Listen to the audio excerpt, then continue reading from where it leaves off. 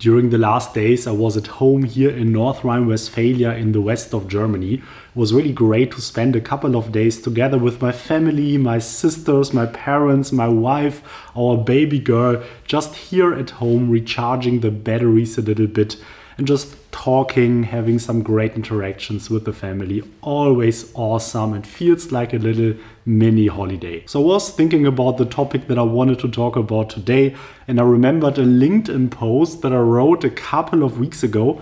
By the way, feel free to follow me on my LinkedIn as well. I will blend in my socials in here. But this post was about my 20s. So as you might know, at the moment I'm in my very early 30s. So my 20s are now behind me. And I was reflecting what were the learnings, what were the lessons and insights that I got out of my 20s. And because I did get quite a lot of positive feedback from you on that post, I thought let me expand on that in a proper YouTube video because I felt like this post was not even close to getting into the details, into everything, all my thoughts about this topic. And to provide a little bit of context on my 20s, let me just start by talking about what my 20s were like, how all of this worked. And when I was about 19, I finished high school here in a rather rural area in the west of Germany. In high school, I was always a solid but not a great student. I had a solid high school degree, but no nothing extraordinary. But what I always knew is that I was interested in business and likely in the future, I did want to work in business indeed. So I was looking for good universities in Germany to study business and preferably also rather far away from home because I felt like this is what I needed at the time. A new start, a new environment where I wanted to grow and study. So I decided for the University of Munich. I always loved the city, the university seemed great. And what's even better is that this university offered me the opportunity to not only study business, but also philosophy in parallel. This was a topic I was always interested in during my youth, and I felt like it was a great opportunity to also have exposure to this slightly different topic. Then I started two independent bachelors in parallel, one in business, one in philosophy. So as you can imagine, that was quite a special and rewarding environment as I found myself in. So surely the typical business student is a very different personality than the typical philosophy student in business, we talked about maximizing profit, setting up in your business in the best way.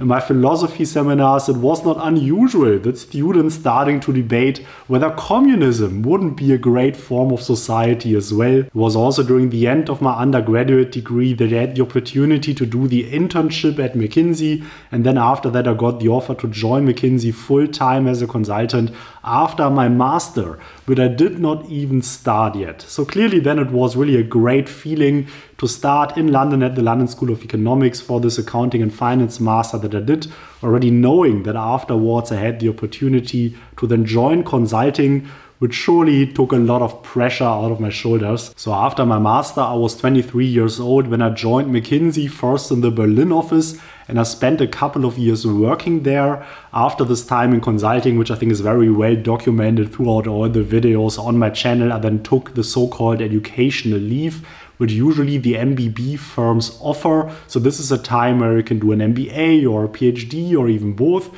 So this is the opportunity that then I took as well. I did my MBA at INSEAD, which surely was a great and amazing experience as well. I spent half of the time roughly in France, the other half of the time in Singapore, using the opportunity to travel through Asia. I remember like a two week course that we had in China. I remember a two week course that we had in the Silicon Valley where we all flew there there. If you're interested to hear more about that, just write me a message and I will create maybe a future video where I just fully talk about my MBA experience. After the MBA, I spent some additional time working on my PhD and then I came back to McKinsey to spend some additional time working as a consultant. And this was then when at some point I was 28, 29, where then I decided to leave McKinsey, leave consulting, start at a medium sized retailer in Germany as a CTO position, which is then where pretty much my 20s ended. And now, as you know, this year I transitioned to even a new role as a CRO, so Chief Revenue Officer, at a mature startup here in Munich, which is what I'm currently doing. So, if you're interested more in that, what a typical day in this new role looks like, I recently created a video. I will link it somewhere above here. Check it out to know what this is all about. So, I hope that this helped to give a little bit of context of what my 20s were all about. But now, before we dive into what my lessons and insights are, what the things are that at least I hope might be helpful to some of you as well, let me first start by properly greeting you here. So, welcome to another coffee break here on my channel Firm Learning. My name is Heinrich, and on my channel, I want to help you to become successful in the first years of your career. So, for those of you who are watching the first time on my channel, I talk a lot about consulting related topics career topics, general reflections that hopefully help people probably around their mid 20s to maybe their mid 30s to grow as a person and as a professional. But now let's really dig into it. So, what are the insights that I got from my 20s, from what happened to me in the early parts of my life. The first reflection I would love to share with you is to think about what the typical pathway is that a similar person like you will likely take, and then think about how you can actively expose yourself to rather unusual situations and try out new things that most other people in your environment will likely not have the opportunity or will likely not have the willingness to do that. So think about that. What will a typical person more or less similar to you likely do at the start of their 20s?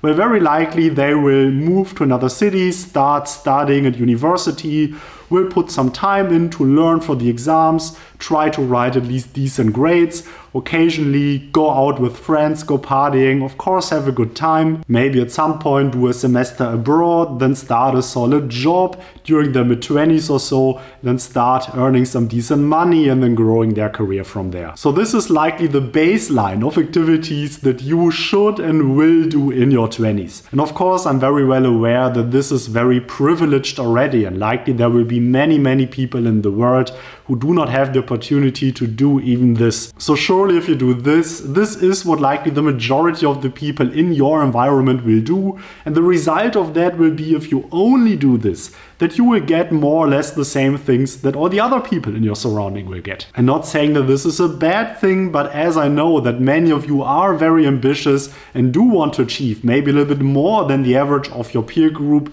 here the key question that you should ask yourself is, what can I do on top of that? What are experiences I can expose myself that will add to my learnings add to my reflections will help me really develop my personality, develop myself as a person. So, reflecting on my 20s, I can only say that some of the experiences that helped me the most were exactly these experiences, which were maybe a little bit unusual, maybe a little bit leaving the beaten path to do some additional new things. And you surely already talked about studying philosophy in my undergraduate as an additional degree. This definitely was not something that many other people did.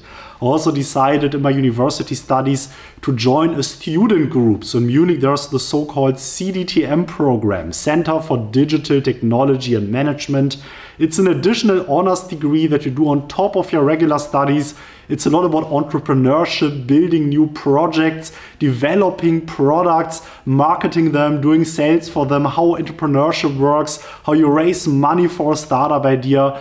This was all additional work, lots of time in my evening. I probably invested at least as much time in only this specific honors degree than in my regular business degree. But the learnings and insights I got from them were so tremendous and really helped me so much in all the years after that that I would not have wanted to miss that. What really also helped me both personally but also professionally is to do as many internships as possible.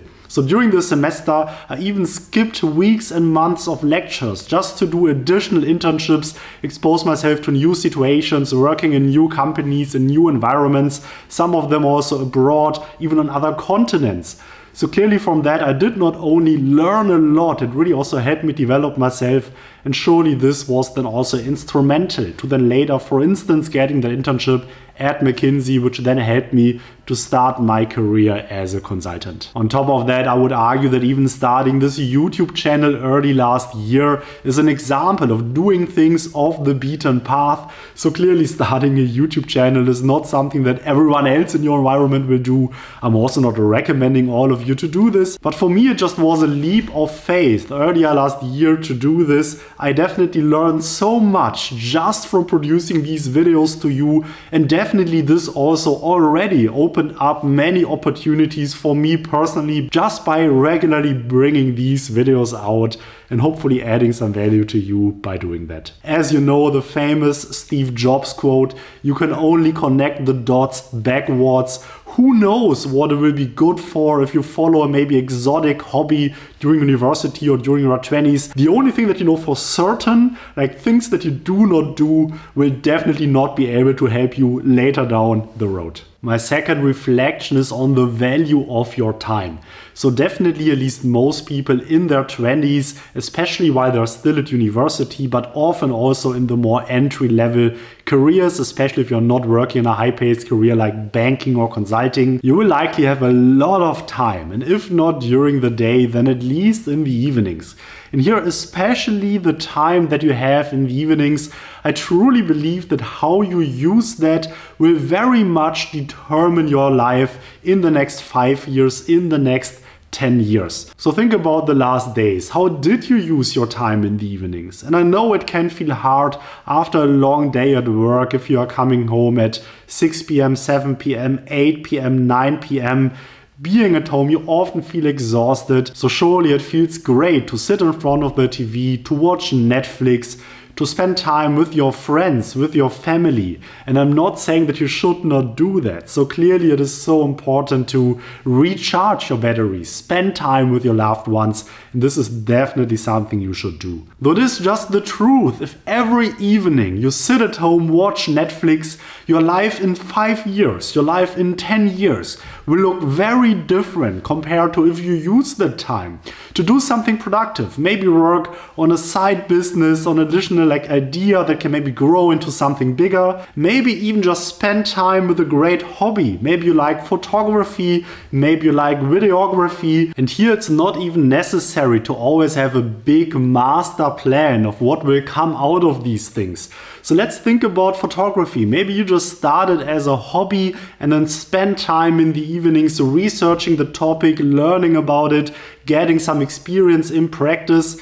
But maybe then in the future you develop this into a little side business where you do photography for maybe weddings or other things. And this is just an additional source of side income that you really enjoy doing. Or maybe you start a YouTube channel talking about your insights, your hobby, what you learn from that, and thereby helping other people. Or maybe by learning about the photography industry, you suddenly have a business idea, an idea for a startup that you can now develop, that now you can get yourself into, and that might help you to quit your regular 9 to 5 job and become an entrepreneur, create a business out of that. So, once again, it's not always possible in that very moment to know what certain activities will be good for later down the road. The only thing that's certain is that if you just spend this time watching Netflix and movies every single evening, Surely here nothing good will come out of that. Surely this will not help you to improve your life five years, 10 years later down the road. Last but not least, let's talk about investing. So here one thing I hear quite commonly from people in their 20s is to say, why should I save money? It's much harder for me to save a little bit of money right now. Why shouldn't I just start saving money and investing in my 30s? Where I likely will have earned much more money where likely than saving a little bit of my earnings. Will be much easier to me than now in my 20s where maybe still a student or in my first job still I don't have a lot of money it's just so much more difficult. And to be frank I used to think like that in my early 20s as well so thankfully over time my mindset on this changed a little bit. And I have two answers two replies to that if you think like that as well. The first is the value of habits, the value of getting used to that.